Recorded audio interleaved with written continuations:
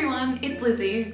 This video is actually one that I didn't think that I would be making quite so soon. I thought it would be one that I would make eventually, sometime, because it is something I want to talk about.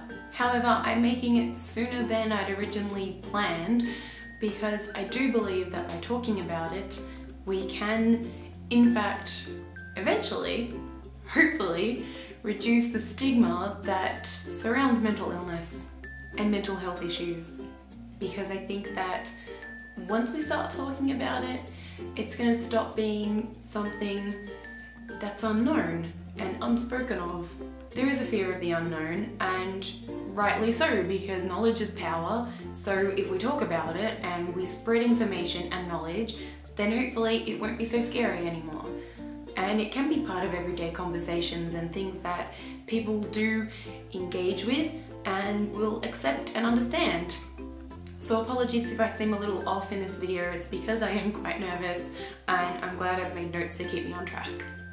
Last year I found myself struggling a fair bit and I know that in life everyone will face struggles of some kind and uh, I mean I had before as well but for some reason this time it felt like a little bit harder to just get past it.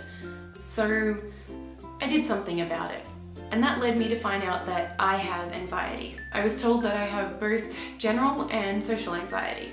The social anxiety didn't surprise me that much, but I did also kind of attribute it to just being an introvert. I didn't realize it was part of anxiety issue. And on one hand, I thought, oh my gosh, anxiety is a mental health issue. That's really scary. And I just, you know, I just thought that I, I worry a lot, I do stress a lot, and I overthink things to the point of creating a problem that wasn't even there.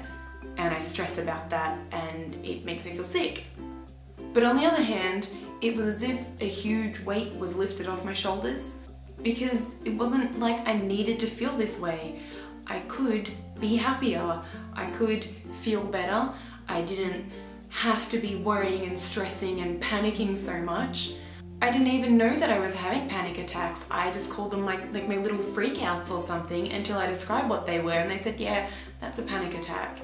And I'd heard about panic attacks, but I didn't know that what I had, because it was on a smaller scale, was still considered a panic attack. I'm saying panic attack like every second phrase. And that relief came from knowing that what I was experiencing or dealing with was in fact a mental illness. It wasn't something that was happening in my head and it was something that I can now learn about and deal with and get better from. Not necessarily something you're going to be cured of or whatever, but if you know what you have and then you can learn and understand, accept it and move on, you know? This is kind of contradictory because I have been told that I'm unapproachable and I accredited that to the fact that I'm an introvert, um, I'm shy and I'm quiet. But now I also know it could be because of my social anxiety and my tendency to withdraw from crowds. Having said that, there have been a number of people who have contacted me through social media and in person to talk about mental health issues, regardless of the fact that I have never mentioned that I have any. I'm mentioning this because it actually makes me really happy when people want to talk to me about these kinds of things because I do think that I'm a good listener and I think that I can give some good advice sometimes. I'm on Tumblr a lot, so if you ever do want to talk, that's where you'll find me. And you can also talk to me anonymously on Tumblr and you don't even have to have an account. I see a lot of people struggling with feelings of being useless and of worthlessness. While this sounds cliche, no one can be you. Only you can bring you, because nobody else can bring what you have. Even if you feel like you're useless, you're worthless, you don't have any talents, you're certainly not alone in feeling like that. I do, however, believe that one day you will find what your talent is or whatever it might be and you'll be so thankful that you didn't stop trying to find out what it was because I feel that regardless of who you are or where you are in your life, that you have something that no one else in the world has. Everyone has something different. You might actually have something that someone else has, but you can bring it in a different way than they can. So in that fact, you are still bringing something new. And I don't feel that I have to believe that to get me through life or anything. I honestly believe that. And I'm still searching to find whatever it is that I have that I can bring and it will be amazing to find out what that is. Just before I finish up, I want to say that if you don't feel like you or not as happy as you think you could be, there is no shame in admitting this or seeking help somewhere.